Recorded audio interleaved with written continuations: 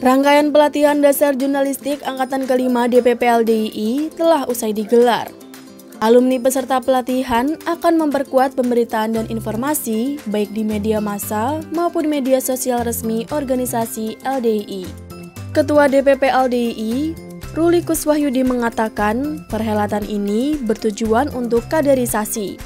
Ia menyadari kebutuhan pemberitaan dari waktu ke waktu terus berkembang sehingga pemberitaan kini sudah merambah ke audiovisual dengan hadirnya media sosial.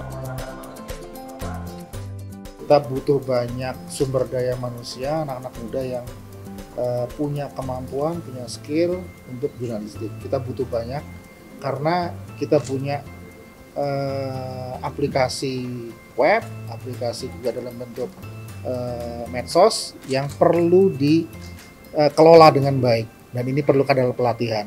Pelatihan ini meliputi pelatihan menulis, pelatihan foto video, editor, dan juga desain.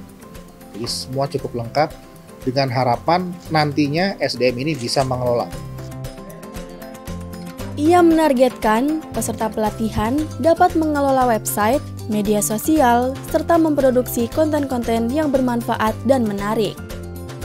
Untuk daerah yang belum memiliki website, Pihaknya telah menyiapkan tim yang bekerja sama dengan Departemen Teknologi Informasi dan Aplikasi Telematika atau TIAT yang siap membuatkan, mengajari, dan memantau.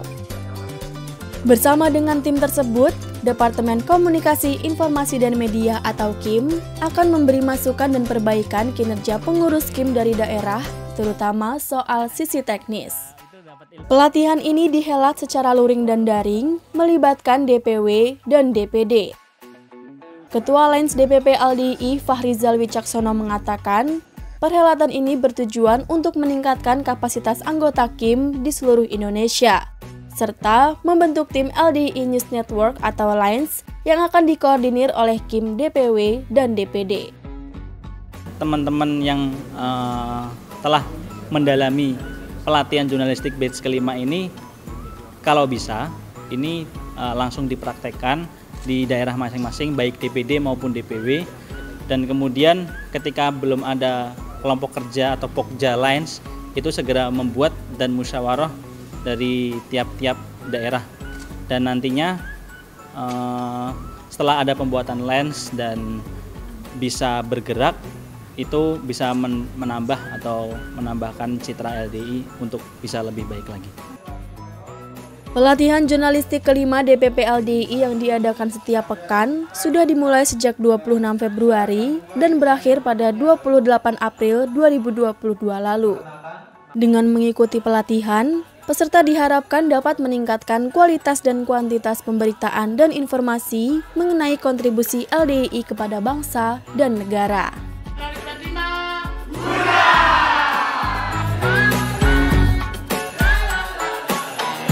Klik like jika menyukai video ini dan subscribe untuk mendapatkan berita terbaru dari LDII TV.